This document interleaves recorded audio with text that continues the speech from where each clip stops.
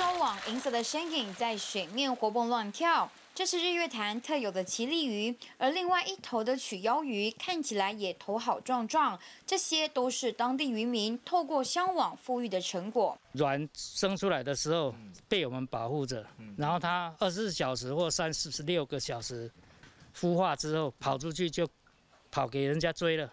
位在南投日月潭月潭旁边的原生鱼类富裕场，当地产销班长说，这里是日月潭原生鱼种的摇篮，富裕的是原生的奇力鱼和曲腰鱼。当地渔民说，原生鱼种已经被外来种的鱼虎挤压到生存空间。它非常凶啊，它几乎无所不吃啊。怎么说？什么鱼它都吃啊，只要只要比它小的鱼它都吃。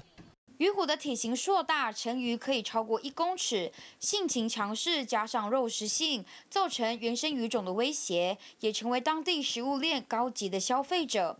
而学者指出，原生种的卢曼不仅容易适应水域，更是比鱼虎更高端的消费者。这回以天敌的方式抑制鱼虎族群扩大。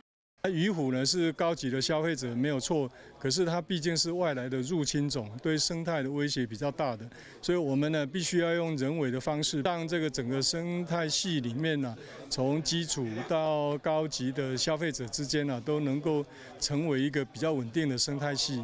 学者表示，经过统计，从二零零六年开始就观测到日月潭的原生鱼种数量急剧下降，但是捕获的外来鱼种数量越来越多，其中九成以上都是观赏鱼。渔业署表示，除了现在启动回收机制，而这回放流的曲腰鱼和奇力鱼数量各三百条，而原生种鲈鳗近千条，成为原生鱼种的保护者。